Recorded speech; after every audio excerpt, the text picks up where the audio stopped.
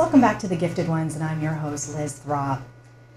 Today's guest is sure to pique your interests if you have a family pet. Have you ever wondered what they would say if they could speak to you? Well, my guest today, she's going to shed some light on that. Mary Beth Haines' passion lies in making a difference for animals and their gifts to humanity. She ad- advocates on behalf of the language they speak. Since 2012, Mary Beth has been working professionally with animals and their humans who love them. She has been recognized as a highly regarded animal communicator, pet bereavement grief specialist, ordained minister, international author, and speaker.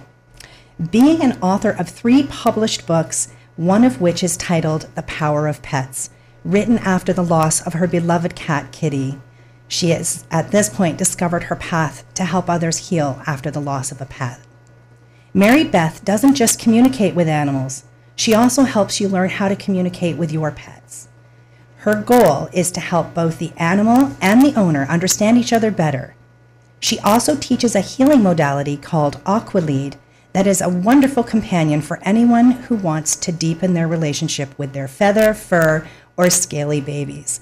Mary Beth, welcome to the Gifted Ones. Thank you so much for having me here, Liz. I'm really excited. Oh my gosh, I can't even tell you how excited I was to have you as a guest today because I myself have had many pets, mm-hmm. and um, the last one was my cat. And when she passed, I stopped doing the pet thing because it was so painful. Yeah. So when I discovered you and what you do, um, it just it blew my socks away never thought of it before. So, like, without further ado, let's start with the first question that uh, I'm sure everybody's asking. Help us understand how this works. So, how animal communication works? Yeah. Wow. So, do you have about? Uh, yeah. exactly right. you know what? Animal communication actually is very simple. It's our minds that makes it hard because right. when we go to school, when we are growing up in life, this isn't something that we're taught. It isn't something that is mainstream yet. Yeah. Um, and but it is something that we all have. So yeah. a lot of times people say, "Well, you seem to be gifted in that and that," you know, but I I'm not. But the thing is, is oh yes, you are exactly. Everybody can do this. Yeah. It's just a matter of setting up the intention and, and setting the space in order to do so. Um, so how does this work? Basically, when when you and I are talking to each other right now, we're communicating. Yes. So we're actually exchanging energy. Now the energy is us with our language that we use, our voice that we're projecting, our body language, all of that. And that's all part of communication when it comes to animals, animals don't have the, the human language to, to speak. Right. They don't they don't open their mouths and say, "Hi Liz, how you doing today?" Yeah. But they do communicate through different means. Yes. When I was young, um, I used to hear the word telepathy, and I used to think telepathy, that's crackers. Like it just did not, uh, you know, exactly. it just sounded sounded cuckoo. But you know, telepathy actually just means feeling at a distance. I love that. And so love that's that essentially saying. what it is. It's it's feeling at a distance and it's connecting with the energy of the animal to be able to hear their voice. That's so beautiful. So beautiful. So an example could be say I'm calling you on your cell phone. So I got my cell phone and I'm dialing your number and then your cell phone rings well, that signal has to go to a cell tower, which then has to go to your phone in order for it to ring. And then we need to, when we talk, that energy is actually being transmitted through those signals. Right. So we don't see those signals, but we know they're there because you can hear my voice and I can hear yours. Yes. So there's no difference when we're communicating with animals and sentient beings. It's just we don't see it with our physical eyes. Right. But it is there in in energy. Love it. So true. I think all living things, um, plants, everything Absolutely. communicates, right? So Absolutely. trees, you name it. But how amazing to actually use your gift um, specifically for animals and, and pets and It's just, it's so beautiful to me. That's why I was so Thank excited you. to have you here today. Thank you. How did you discover um, basically that you could communicate with animals? Like, what was the first thing, like, how you went, oh my gosh, I'm actually communicating? That's a that's a that's a good question. Um, it was a it was a, a progress, right? So Right. when I was a little girl at the age of two, my parents moved my brother, sister, and I to a hobby farm, Oh. and it wasn't too far from here actually. Oh, um, so this is kind of my old stomping ground. So. And I lived there from the age of two to about 22, and I had animals of every kind. And these animals were my family. They were my they were my pets. You know, we we I taught them school. I was their teacher. Um, you know, they were my students. But really, I was their student and they were my teacher. So true. yeah, yeah. And we hung out together, and there was just this really great connection. So I've had a connection with animals from a very young age. When I was very small and growing up, I used to see spirit all the time. I used to hear spirit. I used to see spirit, but it frightened me Yeah. and I didn't quite understand it back then. So as I got older, I kind of shut it down. Yeah. And then Happens a lot. Yeah, yeah. And then in my uh, early 20s, my father passed away, and all of a sudden the dial just turned right on again. And from there, um, with the other animals in my life, in 2011, I had uh, a cat named Kitty, who was the inspiration of my first book, The Power of Pets. And after he passed, there's something was different. So I had gone through loss many times in my life, but this particular one was it was different. It- Yeah. There was something that it was a little harder to get over. It was it was and that really kind of opened the floodgates to truly understand that what I've been feeling and, and sensing and experiencing all these years um, was really communication. Of course. And so, as that happened with the other animals in my life, um, all of a sudden I was like, okay, it's getting stronger. It's getting stronger. So, Perfect. when I connect with animals, I connect with them in different ways. So, you and I are talking here right now. And a lot of times that's how it's like when I'm communicating with an animal. I hear their voice just like you and I are talking now. Right. Except instead of it being audible in my physical ears, it's audible in my head, Yes. so to speak. It's the same how it works as a for a psychic. Like it- Exactly. it's no different, right? Exactly. So that's connecting with the energy. You're just communicating with animals. Perfectly said. Perfectly Beautiful. Just beautiful. Yeah. Wow.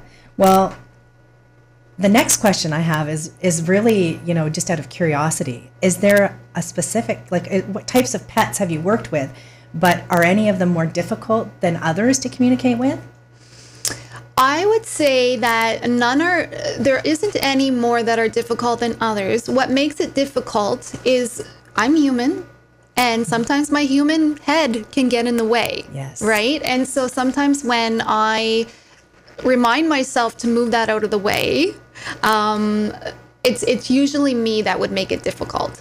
Now, in saying that though, animals are like people with regards to our personalities. Yes, of right. they are. So they all have their different personalities. So I've had animals that I've communicated with where they're just they're talk talk talk talk talk talk talk talk, and I can't get a word in edgewise. and then I have other animals that are just like, hello.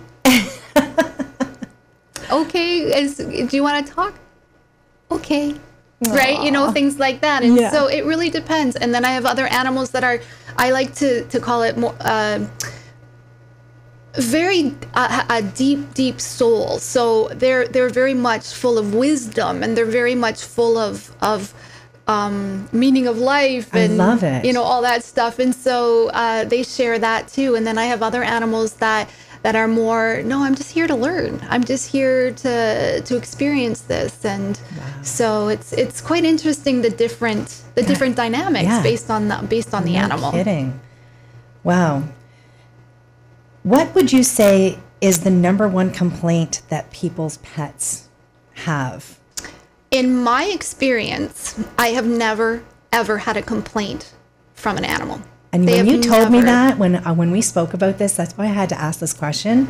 I was like, wow, because you know, like that's like, uh, I, I really thought that pets would have grievances, like you don't walk me enough, I need more bacon, you know, whatever it is that that they need. And your answer, I gotta let you. I interrupted you, so carry That's on. okay. Sorry, yeah. blew me away. Yeah. No, pets have preferences. They have preferences, and they like to make those preferences known.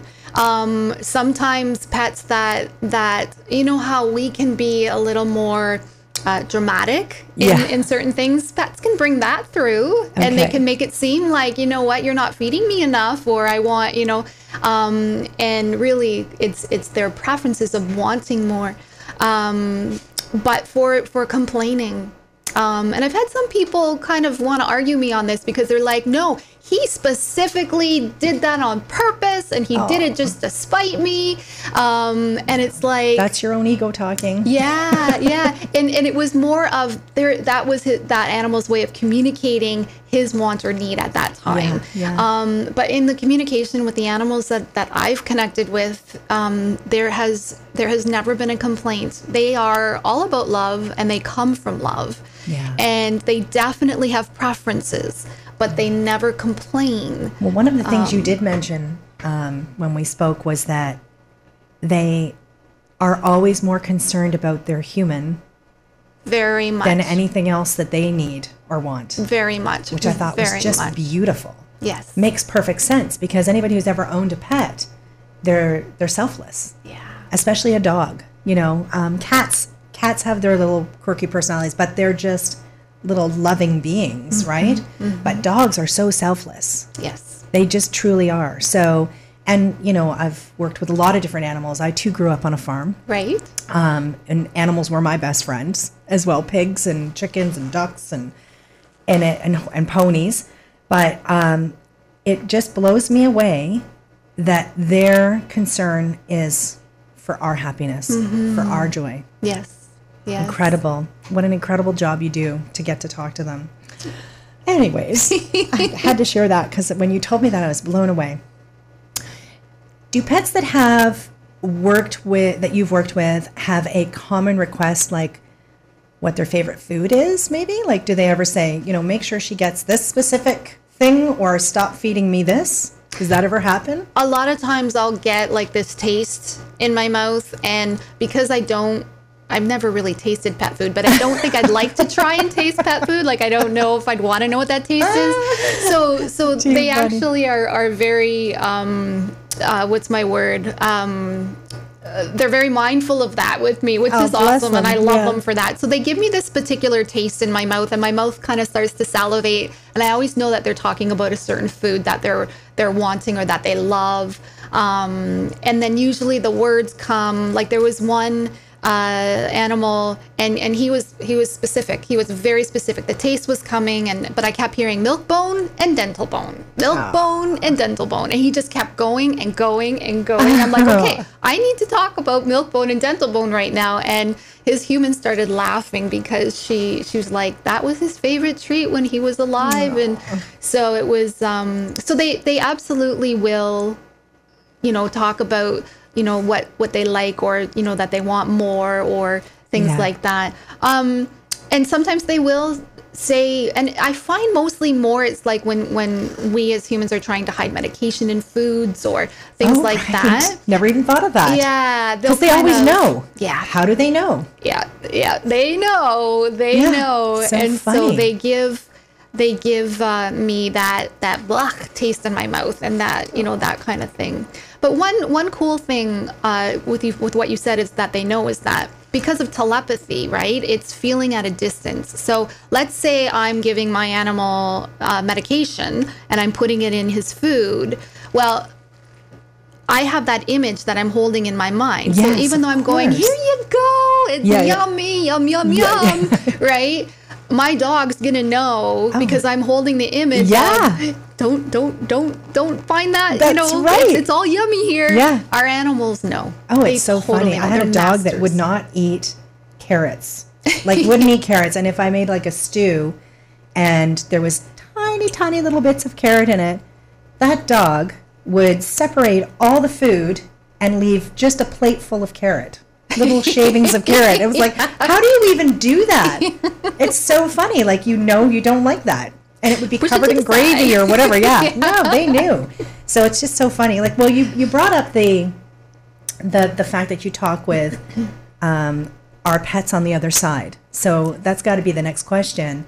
Um, most people watching this are, you know, probably thinking, well, this is great. I can communicate with my living pet, but you also communicate with pets that have passed over. Mm-hmm. So, can you tell us a little bit about that?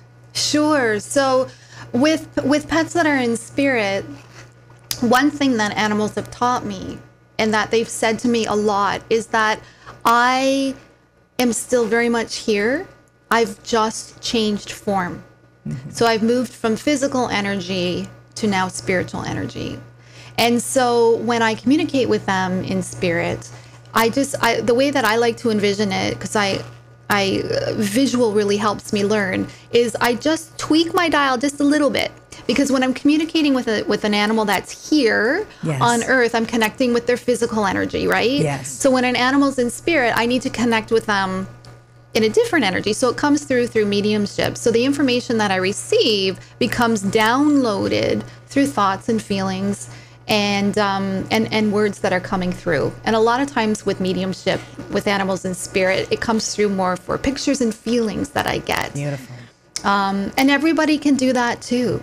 Everybody can do that too. The the main thing, Liz, is is setting the intention. Of course it is. When we set the intention, we create the space. Yeah. And um, again, it's a very easy thing to say, and it's a very easy thing to do. Right. Everybody would be psychic and a medium if they knew how easy it is. Exactly. But they just there's a there's um, a sense of make believe. They don't think that they're really communicating or that it's a fear. I don't want to conjure up something scary. Um, but you know, with pets and well, with humans as well, when we lose a loved one, um, the connection is like I always tell people if I was to put you in the room blindfolded and send in your child and then send in somebody else's child, you would know which one I was sending in based on the energy that you're Yeah, feeling. yeah. And it's no different when you know your your loved one's on the other side, you're going to connect immediately with that energy because you get that energy. Absolutely. You're familiar with it. yeah. Um, so with a pet who is a major part of our lives, they're like part of our like they're a part of the family and they're like one of our children. You would have no difference. It would be, but I, I never saw it like that before. And it's so funny because it's what I do for a living, right? but I never saw it like that with animals. Now I can tell you from with my own animals that I've had in the past, um, absolutely I connected emotionally and spirit, but I just never thought that it was something that you could do it, like what you're doing. It's just mind blowing to me. I love that you're doing it. I love that you're doing it. Well, I thank the animals because it's the animals that have really taught me how to do this. yeah. Yeah. Yeah, Oh, that's yeah. so beautiful. Well, I guess the next question is um, Is there a way for, like, we kind of discussed it there, but is there, like, other than just accept, um, you know, that it's happening, is there a specific way that people at home can sort of start communicating better with their pets so that they can start hearing them or, or communicating better? So, number one, set that intention. You know, talk to your pets. Let them know when you're leaving. Let them know when you're planning on coming back home. Um, have family things together. Uh, do things together. In fact, um, on my website, there's there's uh, you can get a free download of this this book of things that you can do with your pet. That's perfect. What's the book title? And the book title is Seven Surefire Ways to Strengthen the Bond with Your Pet. Oh, beautiful, beautiful, and they can get that on your website, which we will have up on the um, on the show, so people can go to your website. Now, you also wrote a couple of books yourself. I have. Can we take a second just to talk about those? Sure. Do you, you have them with you? I brought them so with me, why don't you just show us them and explain what each book what each book's going to bring to the table for somebody who's interested? Awesome. Thank you. So we talked about Kitty and we talked about how he was the inspiration behind this book. So this book, The Power of Pets, Seven Effective Tools to Heal from Pet Loss. And basically all my books take take you on a journey. So this particular book is where you're on a journey, um, you're walking along a path and you come to a crossroads. And at that crossroads, you can go left or right, but you realize that actually there's seven different directions that you can take. and that there's no wrong direction to take because each one is one of the seven tools. And so um, it's a wonderful book to be able to help you in healing from from the death of a pet and to realize the gifts that they bring to us. Beautiful. Uh, the second one is from Empty to Empowered, and it is a journey to healing from unexpected pet loss. And after the first book came out, I had a lot of people reach out and say that their pet died unexpectedly and they were holding a lot of guilt or they had a lot of questions. So this one was to help with that that sudden loss aspect. Yes. Um, and again, on a journey, and we take that journey together um, through the book. Beautiful. And then the last one, my sister and I both co-authored together because Oh, she is a professional ventriloquist. So these are her puppets. This is McGraw the bird and Camilla the frog, and they Hmm. this is for children. So they actually take the the child uh, with them throughout this book being able to identify their feelings and how how they're feeling so it's a, a nice workbook where they can actually put in Oh. uh, and use the book and draw and and talk about what their feelings are That is so absolutely beautiful. thank you so beautiful because that is probably one of the hardest things I remember when my my dog passed away. My daughter was, I believe, six, and this dog was her brother. Yes That sh- they did not. That child did not go anywhere without this dog. Like Spiky has to come, mom. Spiky, and they they were inseparable.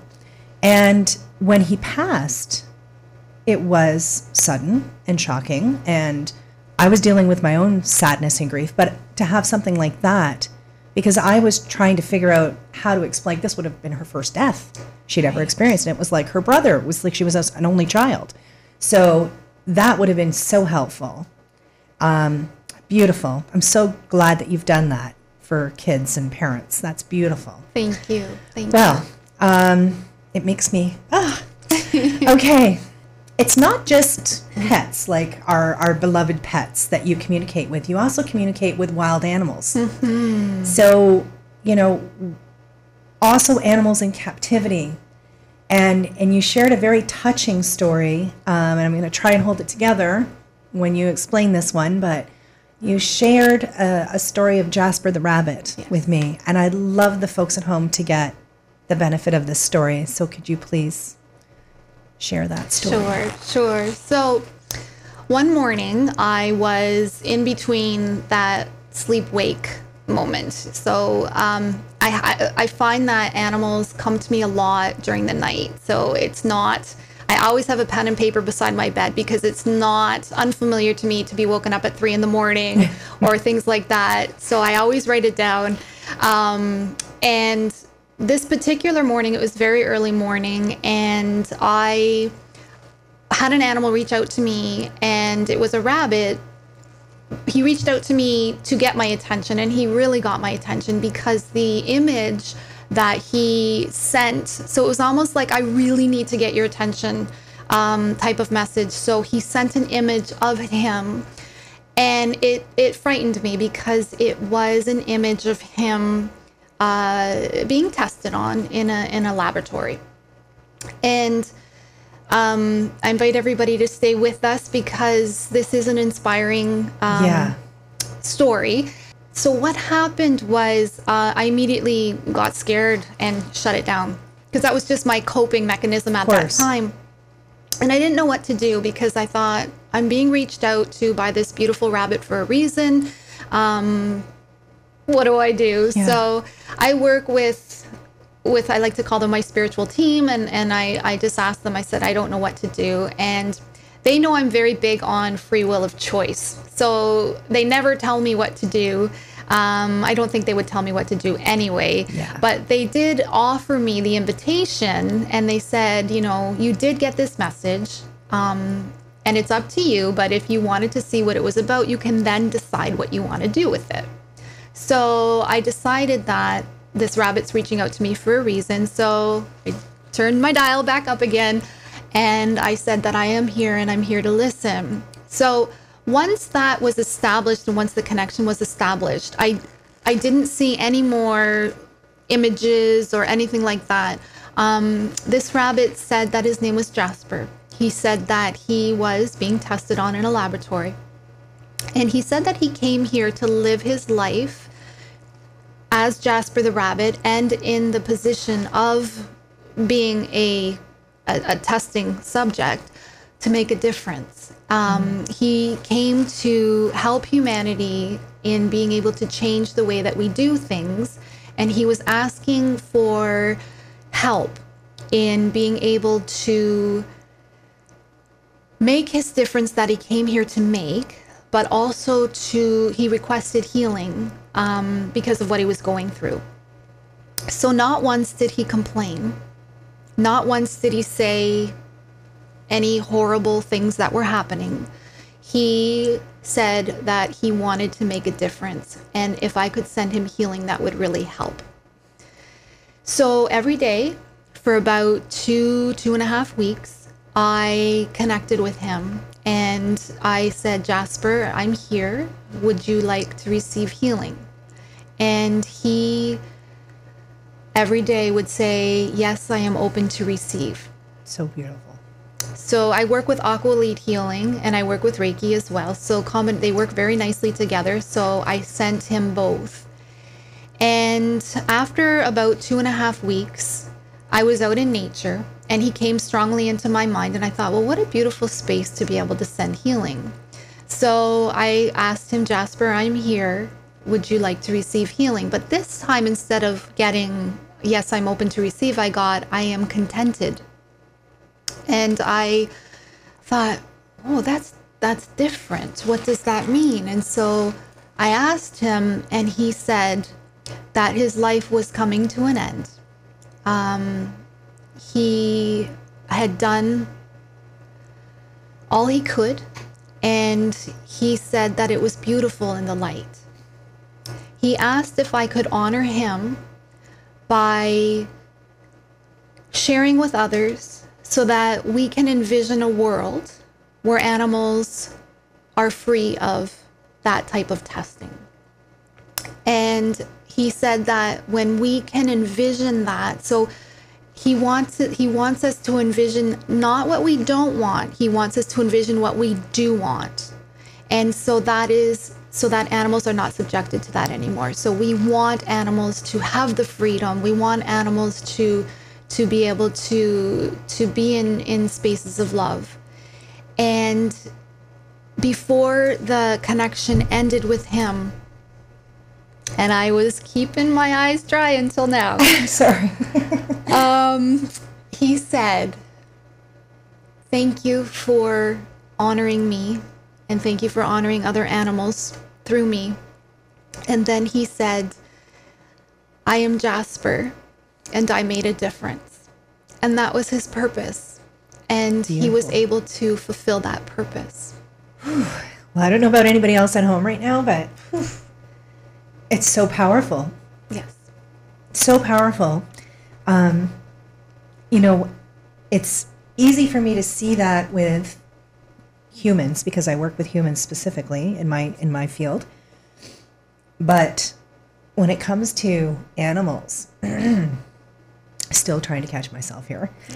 Um, we just have like this, you know, we don't want to see them harmed or you know, nobody wants to see anybody harmed or any living thing harmed, but especially an animal that's in that capacity, um, still thinking of humans like I'm here to support them. Right. Beautiful. Okay. deep breath. Deep breath. Yes, exactly. Yeah. Um, I cannot end this show without asking you uh, one more question because all of us who have had pets and have lost them at some point um, probably think the same, uh, want the same answer or want answers to this. Can you share with the viewers about the lessons that you have learned from end of life pets? And by that I mean um, an animal that's sick that we have no choice but to put down because we can't bear to see them suffer. There's so much guilt that that comes with that. So if you could share that with our viewers, what what you typically have discovered. One thing that animals have taught me through all of the communications that I've had at end of life is that they are very accepting of death.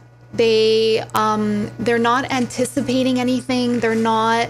Uh, we as humans, we always anticipate what's coming next, or we're always worried about what's happened in the past.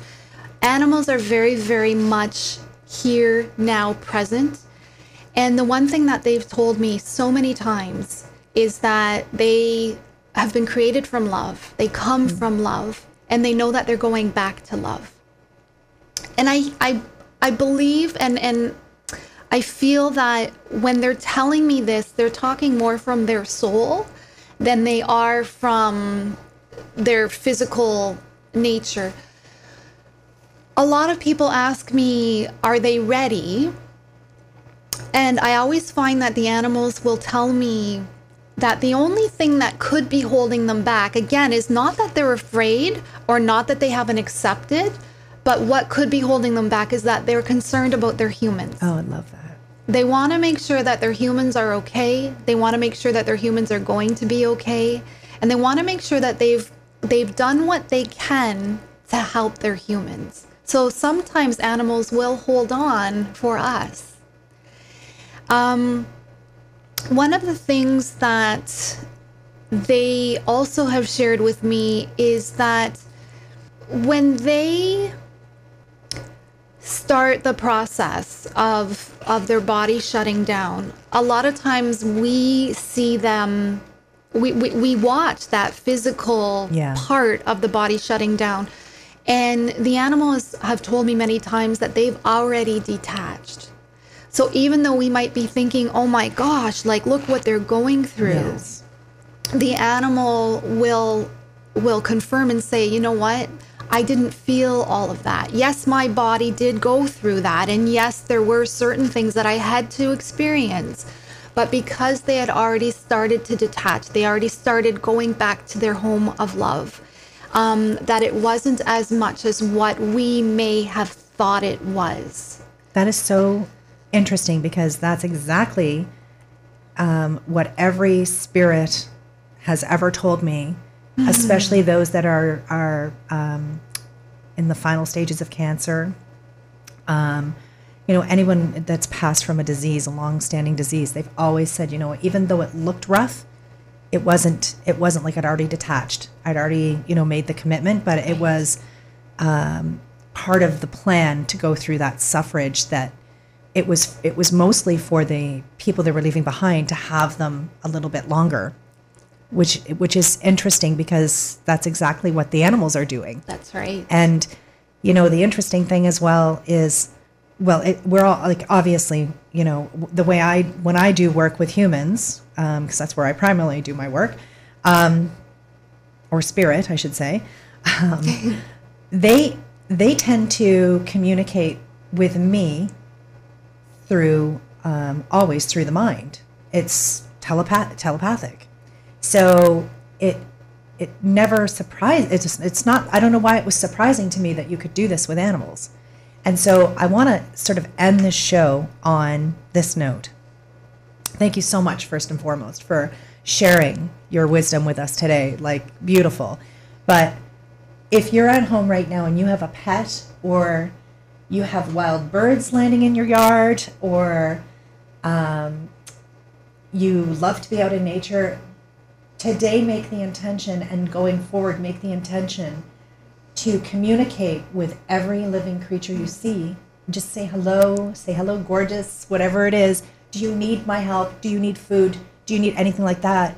And listen to what you're getting because i clearly as we can tell from Marybeth that really is how they communicate so thank you so much Thank you for having me. I've had such a wonderful time. I thank the animals for bringing us together. I am so grateful.